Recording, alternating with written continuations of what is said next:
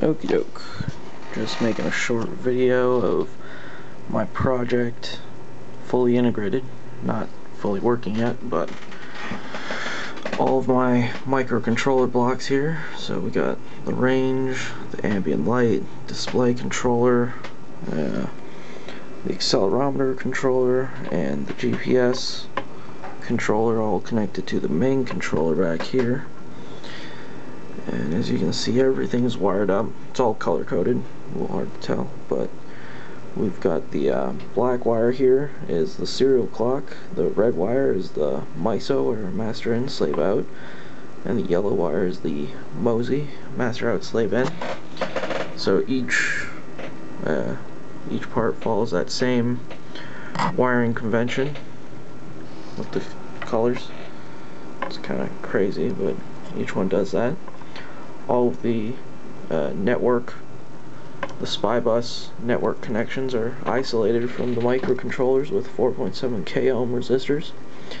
This allows me to connect the in-system serial programmer, this thing, directly to the microcontroller right here. It's a little hard to see, but I can connect the ISP wires here directly to the micro without having to disconnect everything from the SPI bus network. So this allows both to exist in the same circuit, but in this case only this micro is going to get programmed because this reset pin is the only one tied here. Anyways, the five slave selects with blue wires are connected here to their appropriate pins on the main controller. Uh, they go here just so the logic analyzer can see them all.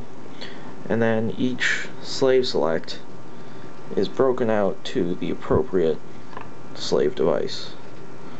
So as you can see here, this one happens to be the accelerometer slave select.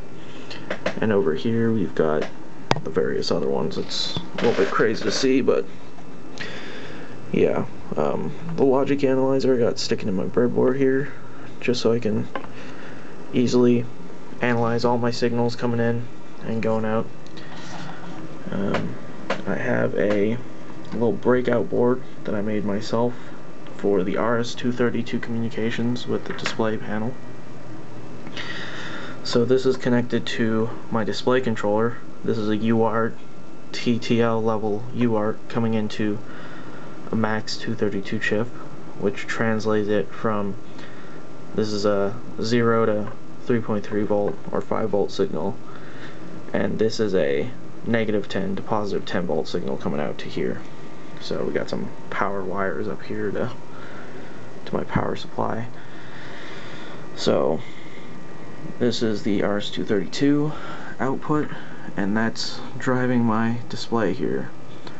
Um, looks a little crazy right now because not everything's tweaked but right now data is getting to the display controller and the display controller is trying to put it up here but I think the values are just getting updated too fast to the point where some garbage values are coming through and you know some craziness is going on.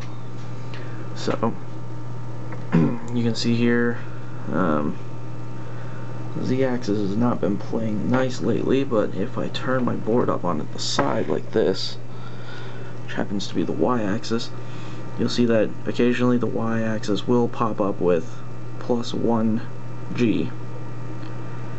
And it's all over the place, but it does occasionally come up with plus 1G, which if you look at the PCB here, this is the positive direction of the y-axis that's going down. So, ostensibly we have 1G of gravity, so seems to be working alright. Um, rangefinder is not connected right now, but you see what I'm talking about with garbage values. It's not even connected and still shooting out all this, all these numbers. As with the ambient light, if I cover up my CDS photocell here, the ambient light value goes to a rather high value, indicating very little light, and if I let go, it goes to a lower value. Again, a lot of garbage values going across the communication bus. Um, this is data coming through from the GPS module. Again, a lot of garbage values, but it is communicating. Um, still needs some tweaks, but you can tell that you know this is the only way that a cheap a uh, heads-up display would work is with a nice bright display like this. So that's a basic short tour showing my project integrated. Not really fully working, I suppose, but integrated together. Everything's connected and it is communicating.